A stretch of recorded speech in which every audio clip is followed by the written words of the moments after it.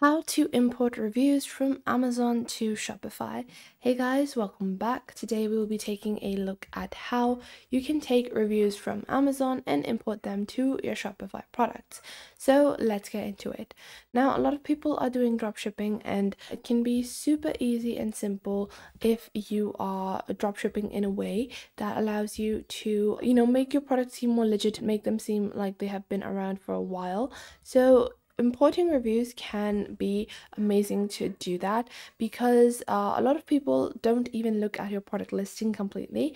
They move directly towards the reviews. So let's say i have a product like this and i am dropshipping this product from aliexpress. It's a very basic aliexpress product but I want the review section to be like Shopify, like the people that have left reviews on Shopify, I want them to be like so.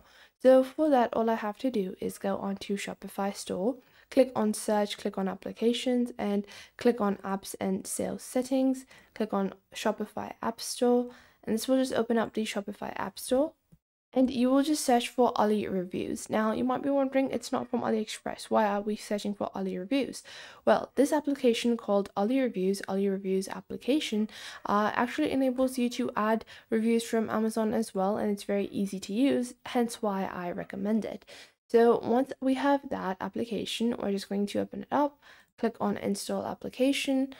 And once the application has been installed, you'll be able to see it on the bottom left. We're going to pin it, click on sign up for free, and you can just sign up for free. Once you have completed that, you will be able to see your basic little uh, dashboard. And what you're going to do is you're going to click on manage reviews and you can see all of your products and let's say I have this product over here I want to import reviews for this product I'm going to click on import reviews and then we're going to click on Amazon import and I can just find a similar bag on Amazon and I can import reviews from there so I'm just going to search for so this is just like a similar looking bag. I'm just going to import reviews from this. Obviously, you want to find the specific product that you have imported. But once I've done that, I'm going to open this up, paste the URL over here. Then I can add whether or not I want reviews only with images and don't import reviews I deleted and they should have feedback text. And I want to import maybe only three reviews. Click on import over here.